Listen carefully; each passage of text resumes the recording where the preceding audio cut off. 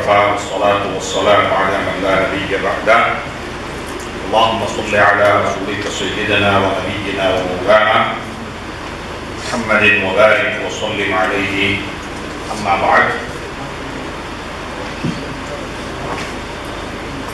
அவையின் தலைவர் உட்பட மேடையில் இருக்கக்கூடிய அதிதிகளை விடுவித்து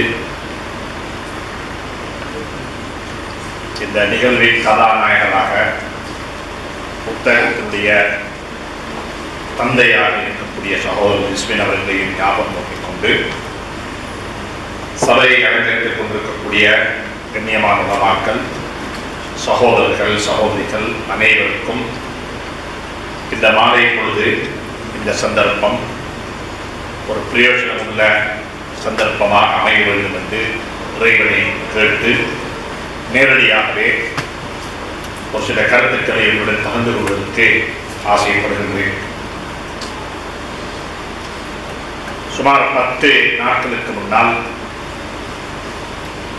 என்னுடைய சக காரியாலய சகோதரருடன் நண்பர்களுடன் பிரயாணம் செய்து கொண்டிருக்கும் பொழுது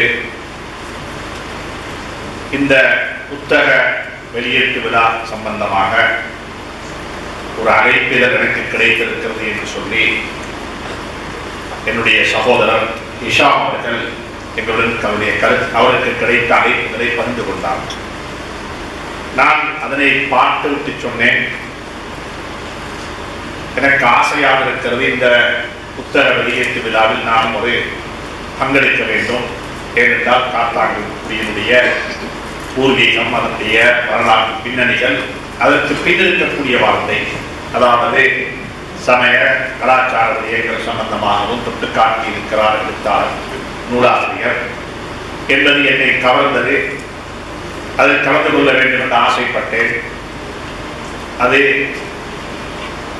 ஒரு ஆடியன்ஸாக ஒரு பார்வையாளராக வந்து இருந்திருக்க வேண்டிய என்னை இந்த சபையில் ஒரு பிரதம அதிதியாக என்னை அழைத்து என்னை கௌரவப்படுத்தினார்கள். அதற்கு முதற்க நன்றி தெரிவித்துக் கொள்கிறேன். இல்லாவிட்டால் இந்த சபையில் நான் இருப்பதற்கு எந்த சந்தர்ப்பமோ அல்லது சாத்தியப்படுவதோ இருந்திருக்க மாட்டார்கள் எனவே ஜசாக்குல்லாஹை அந்த பின்னணியில் நான் இந்த புத்தகம் சார்ந்த புத்தகத்துடன் சம்பந்தப்பட்ட கருத்துக்களையும் முன்வைக்க வேண்டிய தேவையில்லை.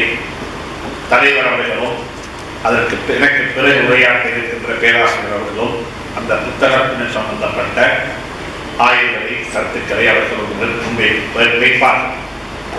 இருந்த போதிலும் காலத்தின் தேவையை கவனத்தில் கொண்டு எங்களுடைய இருப்பை நாங்கள் இந்த நாட்டில் உறுதி செய்து கொள்வதற்கும் உறுதிப்படுத்திக் கொள்வதற்கும் தலையிலிருந்து வாழக்கூடிய சமூகமாக எங்களுக்கு பிறகு வாழக்கூடியவர்கள் வாழ வேண்டும் என்பதற்காக வேண்டியும் அவைகளை எல்லாம் கருத்தில் கொண்டு ஒரு சில விடயங்களை மாத்திரம் உடன் கலந்து கொள்ளாமல் நினைக்கிறேன்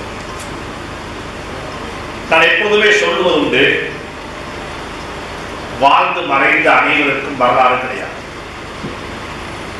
உலகத்தில் எத்தனையோ மனிதர்களுடைய ஜனாசாக்களை தொழிலிருப்போம் நட நல்லடக்கம் செய்திருப்போம். அவர்கள் வாழ்ந்தார்கள் மறைந்தார்கள். ஒரு கணம் நீங்களாகவே யோசித்து பாருங்கள் அப்படிப்பட்ட எத்தனையோ மனிதர்களுடைய ஜனாசாக்களை நாங்கள் நல்லடக்கம் செய்து விட்டோம். அவர்களுடைய வாழ்க்கைக்கும் மிருகத்துடைய மிருகங்களுடைய வாழ்க்கைக்கும் இடையே இருந்த வித்தியாசம். வாழ்ந்தார்கள் மறைந்தார்கள். பிறந்தார்கள் இறந்தார்கள். அப்படிப்பட்ட ஒரு வாழ்க்கை வாழ்வதற்காக வேண்டித்தானா இறைவன் என்னை உலகத்துக்கு அனுப்பி இருக்கிறான் வாழ்ந்து மறைந்த அனைவருக்கும் வரலாறு கிடையாது.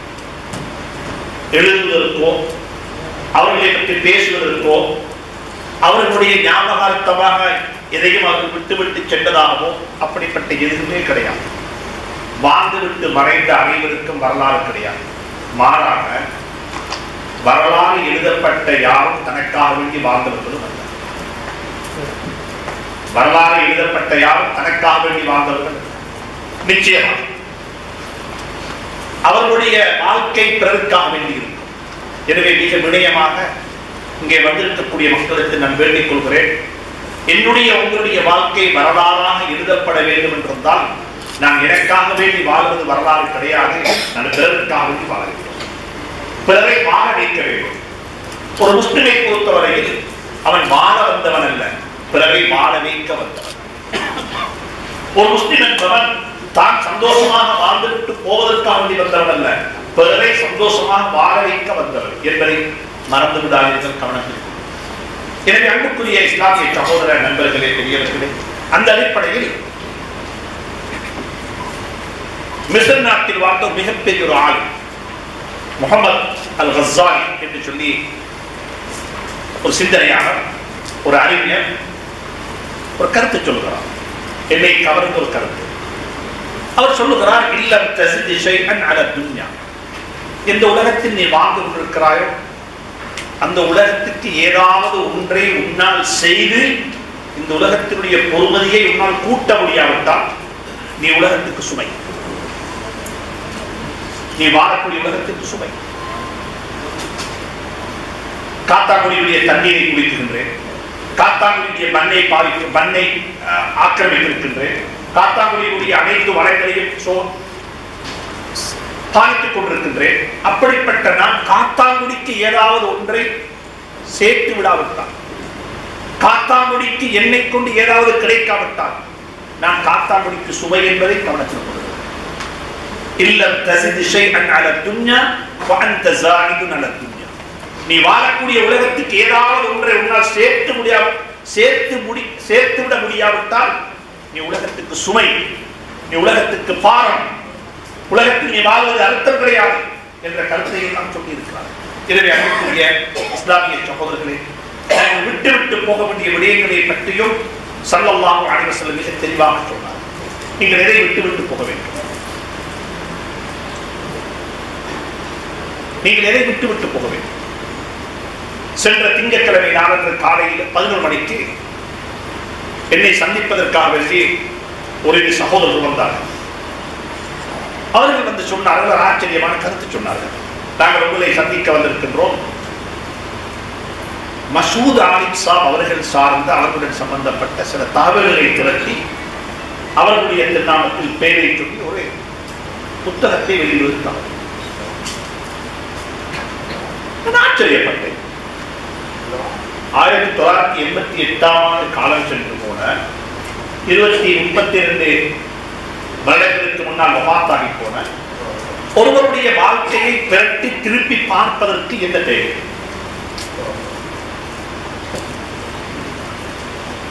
என்னிடத்தில் கேட்டாள் நான் அவருக்கு கேட்டேன். உண்மையிலேயே அந்த கேள்வி அவர்கள் அவர்கள் மீண்டும் என்னிடத்தில் திருப்பி கேட்டார். நீங்க என்ன இதற்கு சொல்லுகிறீர்கள்? மசூதாரின் சார் ரஹமத்துல்லாஹிலே உடைய வரலாற்று பின்னணிகள் கொஞ்சம் படித்திருக்கிறேன். அவருடைய நிகழ்வு அவருடைய வாழ்க்கையில் நடைபெற்ற நிகழ்வுகளை என்னுடைய நி- உரைகளை கூட தொட்டு காட்டியிருக்கின்றேன். அதனை வைத்துத்தான் அவர்கள் என்னிடத்தில் வந்திருக்கிறார்கள். நான் அவருக்கு சொன்னேன். நீங்கள் உலமாக்களுக்கு சொல்லுகிறேன் நான் அவருடைய வாழ்க்கை வரலாறை படித்தேன். அவர் படித்திருப்பது பாடசாலையில் ஆறாம் ஆண்டு வரைக்கும் அவருடைய தமிழ் இன்று கூட நீங்கள் எஸ்எல்பிசியில் அந்த அவருடைய நிகழ்ச்சிகளை கேட்கும்போது அவர் எங்களுக்கு பக்கத்தில் வாழ்ந்து கொண்டிருக்கிறார் என்ற உணர்வு எனக்கு வருகிறது ஒரு நாள் ஒரு கடையில் தேநீர் வந்து கொண்டிருக்கின்றேன் காலை பத்து மணி அளவில் முஸ்லீம் நிகழ்ச்சியில் அவருடைய ஒரு ஒளிநாடா ஓடிக்கொண்டிருக்கிறார் அங்கிருந்த அனைவரும் பின் ட்ராப் சைலண்ட் அமைதியாக இருந்து அவருடைய உரையை கேட்டுக் கொண்டிருக்கிறார் நிகழ்ச்சி உரை முடிந்து விட்டது ஒரு பத்து நிமிடம் இருக்கும். ஒரு ஹஜ்ஜுடைய காலம். உரை முடிந்து விட்டது ஒருவர் ஓடி வந்தார் இடத்தில். அவருக்கு வயது அறுபத்தைந்து. அவர் நெஞ்சில் எப்படி கையை வச்சு கொண்டு சொன்னாரு? நான் அங்கிருந்து ஒரு பயானத்தை ஒரு தலையங்கமும் எடுத்துக்கொண்டேன் உரையிலிருந்து தலையங்கத்தையும் பெற்றுக்கொண்டேன் அவர் நெஞ்சில கையை வச்சு சொன்னாரு மசூத் ஆலிம் சாவுடைய ஜனாசாவில் பங்கெடுக்கக்கூடிய பாக்கியம் எனக்கு கிடைத்திருக்கிறது. என்னை வியப்புக்குள் ஆழ்த்தியது. முப்பத்தி ரெண்டு வருடங்களுக்கு முன்னால் வாழ்ந்து மறைந்த ஒருவனுடைய ஜனாசாவில் பங்கெடுத்ததை முப்பத்தி ரெண்டு ஆண்டுகளுக்கு பிறகு பாக்கியமாக கருதுவதற்கு அவர் வாழ்ந்தாரா?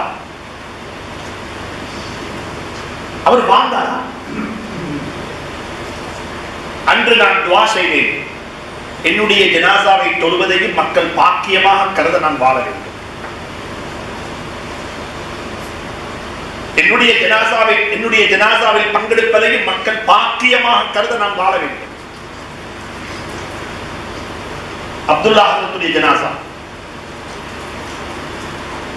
ஒரே காலத்தில் மூன்றரை வருடங்களுக்கு முன்னால் மூணு நாலு வருடங்களுக்கு முன்னால் ஒரே காலத்தில் நடந்த மூணு ஜனாசாக்கள் ஒரு வாலிபன் இம்தியாஸ் பாக்கில் மாக்காவுடைய மகன் இருபத்தைந்து வயது.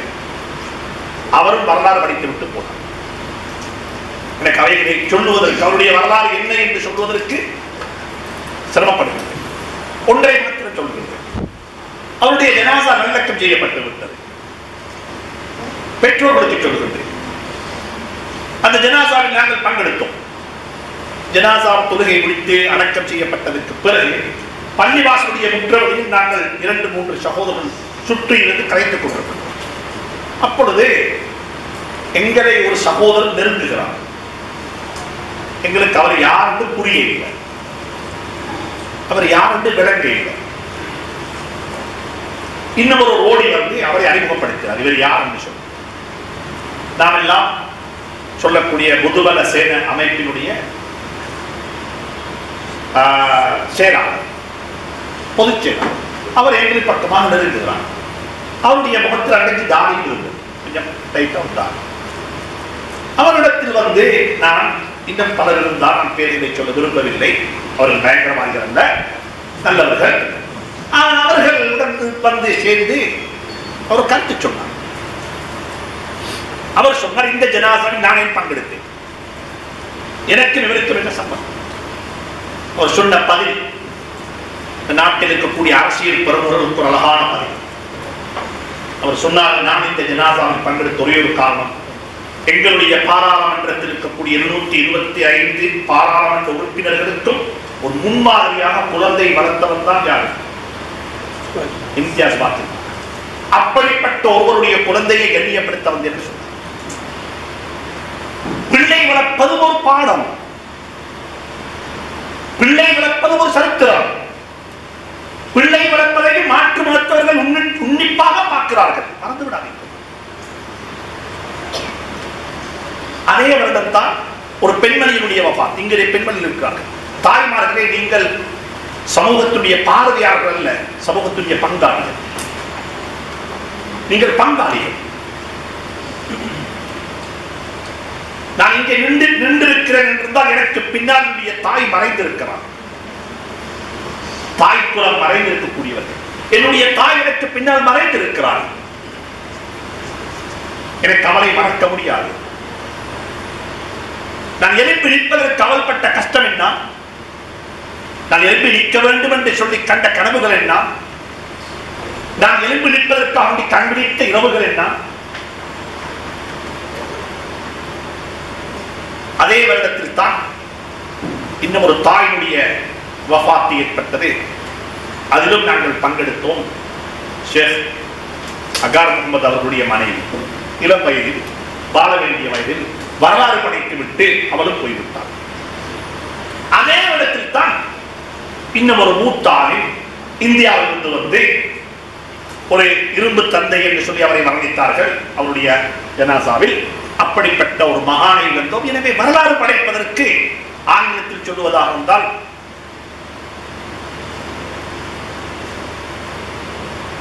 good life is long enough long life is not good enough எம்மாத்திர எவ்வளவு காலம் வாழ்ந்தீர்கள் என்பது முக்கியமல்ல. வாழ்ந்த காலம் கொஞ்சமாக இருக்கலாம். என்ன சாதித்திருக்கிறீர்கள் என்பதுதான் முக்கியம். எனவே வாழ்க்கையை வரலாறாக ஆக்கிவிட்டு இறையடி செய்வதற்கு அல்லாஹ் எனக்கு உங்களுக்கு துணை புரிய நேர முகாமைத்துவத்தை கவனத்தில் கொண்டு அதனுடைய உரையை நிறுத்திக் கொள்கின்றேன். எனவே நீண்ட நேரம் உரையாட விரும்புகின்றேன். உங்களுடைய கண்களை பார்க்கும் பொழுது உங்களுடைய கவனத்தை பார்க்கும் போது எனக்கும் பேச ஆசையாகத்தான் இருக்கிறது ஆனாலும் நேர முகாமத்துவத்தை கவனத்தில் கொண்டு ஒரு அடக்கமான ஒரு நிகழ்வாக இருப்பதன் காரணமாக நான் உரையை முடித்துக் கொள்கின்றேன். வாழ்க்கையை வரலாறாக மாற்றிக்கொள்வோம் வாழ்ந்துவிட்டு வரைந்த அனைவருக்கும் வரலாறு கிடையாது. மாறாக வரலாறு எழுதப்பட்ட எவரும் தனக்காக வேண்டி வாழ்ந்தவர்கள் அல்ல. வல்லா அல்லா எனக்கு உங்களுக்கும் துணை புரிய வேண்டும். அஸ்ஸலாமு அலைக்கும் வரஹ்மத்துல்லாஹி வபரகாத்துஹு.